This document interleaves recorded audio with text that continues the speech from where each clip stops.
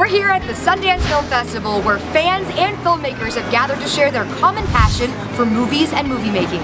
So I'm here with Nate. Tell me about Birth of a Nation. You're here at Sundance for your film. Yeah, I'm uh, premiering Monday, and I'm very excited about it. It's my third time at Sundance, first time as a filmmaker, so it's exciting. I'm looking forward to, to people seeing it. People are kind of having the buzz that it's kind of like 12 Years a Slave hype. Do you think it's going to get the same, you know, worldwide view? I hope so. I don't. I mean, I wouldn't compare it as much as people, other people would. Under 12 years, you know, there are very few films in our demographic that deal with uh, resistance and rebellion, um, and so I think think that this film is different in that way. So, and uh, I think it's timely. It deals with injustice in a very real way, and I think that hopefully it'll challenge the audience member to think about ways it can be rebellious in its opposition of injustice in the things that are happening in 2016.